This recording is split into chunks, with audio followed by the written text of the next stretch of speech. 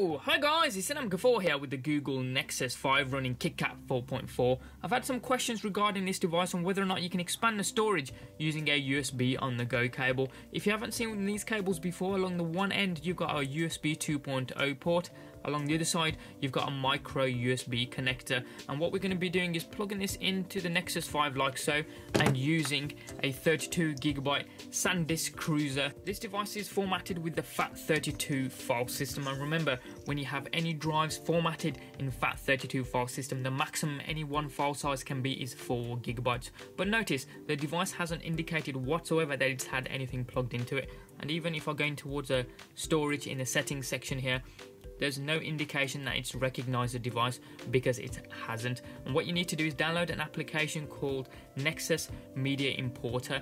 And if we take a look at that, because there are two very similar applications here. The second one down, which is free, says Nexus Photo Viewer, and it does exactly that. You can view photos and imagery from the USB drive connected on your handset for free effectively. The second one there, the Nexus Media Importer, does cost, I think it's just over a pound here in the UK and it allows you to do everything else, music, videos, photos, all in one. So I've already purchased it, I'm just going to install it here.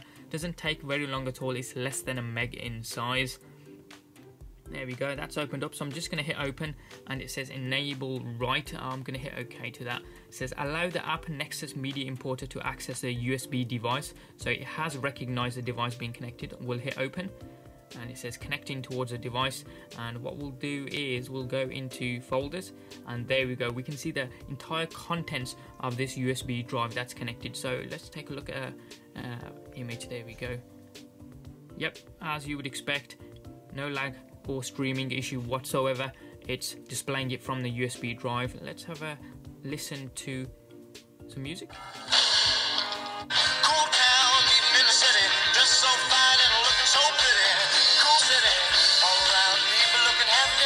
There we go, plays music absolutely fine as if it's on the handset itself. So we'll go back and what we'll do is play a movie trailer for Gravity.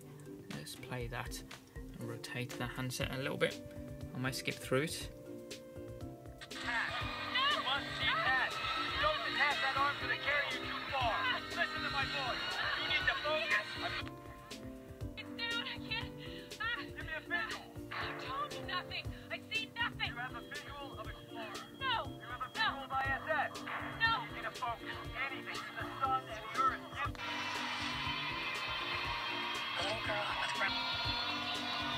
There we go, that looks absolutely stunning and there's no media lag whatsoever. The audio was in sync with the video absolutely fine while it's been streamed from this USB drive as if it was on the handset itself. You can also copy media files to your USB drive using that same application, Nexus Media Importer. As I say, I think it costs just over a pound or so from the Play Store and that's without even rooting your handset. You can also use bigger USB drives. I think the maximum size that I've tested with is 2 terabytes.